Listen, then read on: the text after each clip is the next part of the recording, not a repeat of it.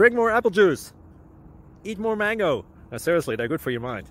Um, this video will show you a technical question as well as possible answers there onto. So have a look if it will help you out and um, would you please subscribe and like. Thank you. God bless.